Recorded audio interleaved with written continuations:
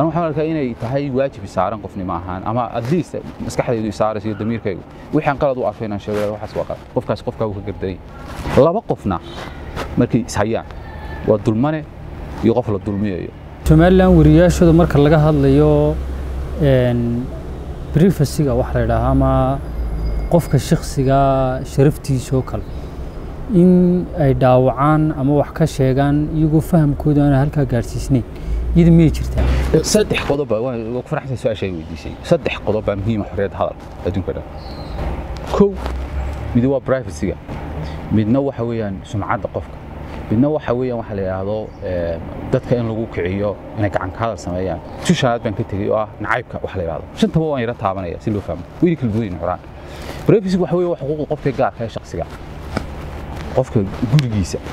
noloshiisa gaarigiisa telefoonkiisa waxaas qofka dastuurka uu ilaaliyo waa private cidina dowladdana waa ka mamnuuc inay gasho dowladdu waxaa leeyahay qofka gurigiisa ma geli kartid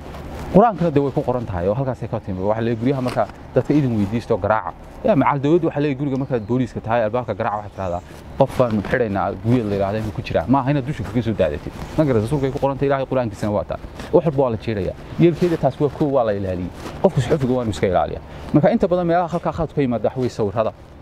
qofka aan la ogolayn waxaa ka mid ah xogta gaarka qofka ee aanu aanu aanu kula ogolayn ilmo yaroo caruura baa dhibaata ku dhacday magaciisa inaad iska shaacaysid maaha inaad ilaalisaa protgaraysaa gabadh baa la kubsaday waxyaabaha privacyga waa muhiim. Qodobka labaad sumcadda qofka inaad xiyeysid taas waa ta ay ka dhalanaysa dacwadaha madaniga qofka magdhowga kugu soo ashkateynayo hadda waa la xidhaa khaladka waa xadhiga. Qof qof qof sharcigu qofka uma fasaxayo in sumcaddiisa wax la yeelo. Laakiin natiijada ka dhalanaysa la isku haya natiijada ka dhalanaysa xarig maaha magdhowbu qofku xaq kugu leeyahay. Intuu maxkamadda tago inuu ku soo dacwo yidhaahdo aniga ninkan sumcaddaydii dhulka dhigay boqol kun oo doolar ha layga qaado konton kun oo doolar sharaftaydi magtaydii waan u baahanahay because maba nooliba waxba kuma nooliya dabeedna maxkamaddu intay qiimayso waa kuyidhi taas waa labay tahay in la iska ilaaliyo taas labaad waxa la yidhahdo violenceka inaad dee tidhaahdid dadka laaya maaha violenceku inaad hadalkaaga laga fahmo in ficil la samayn doono laakiin waa inaad si toosa u tidhaahdid si laga fahmi karo dadka ha la istiro taasna waa mamnuuc xorriyadda hadalka ta afraad waa waxa la nacaybka inaad beelaha ama dadku waxay ku kala duwan yihiin isku nacbaansho ku abuurtid taasina waa afar afartaa shay waa afar shay tahay in laga taxadaro marka xaafadda laga hadlayo iyo dadka caadiga marka laga hadlayo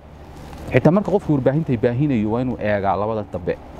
Qofkan dadkan dadka nacayb miyuu kala abuuraya. Miyuu leeyahay reer hebel reer hebel hays nacaan? Waa waa hays nacayb nacaybka waxa marka dambe xasuuqa keena weeye.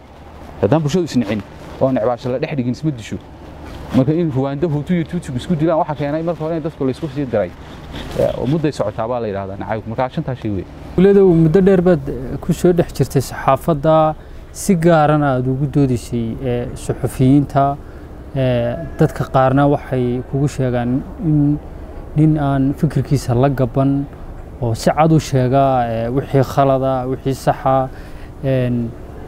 maxaa kuu qarsoon dee horta dadku ilaahay bay inagu abuuray inaynu inaynu inaynu xumaha iyo wanaagga wixaynu u aragno dee baniaadamku waa khaldami kara mararka qaarkood adigoo isla wanaag baad u doodaysa waa laga yaaba inaad wax khaldan doodayso iska waa weaknesska dacfiga baniaadamku jiro laakiin waxaad khalad khalad u aragtid inaad diidid wixii wanaagna aad samaysay waxaa arkaa inay tahay waajib diiniya iyo wax ajar laga helayo oo ilaahay ajarkaaga qorayo xadiiskii rasuulka sal alla alay wasalam ayaa ayaa laga raacay